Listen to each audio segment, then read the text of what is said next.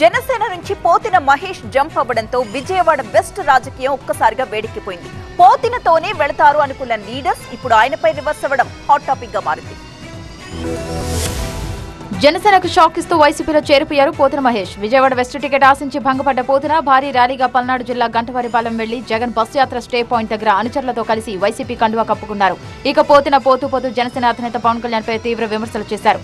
జనసేన అనేది అసలు రాజకీయ పార్టీనే కాదన్నారు ఆయన. అదొక నటుల సంఘం అంటూ ఆగ్రహం వ్యక్తం చేశారు. నటుడు ఎప్పుడు నాయకుడు కాలేడని పవన్ టార్గెట్గా విమర్శలు గుప్పించారు. పెత్తందారుల కూటమిలో పవన్ చేరారని పోతిన మండిపడ్డారు.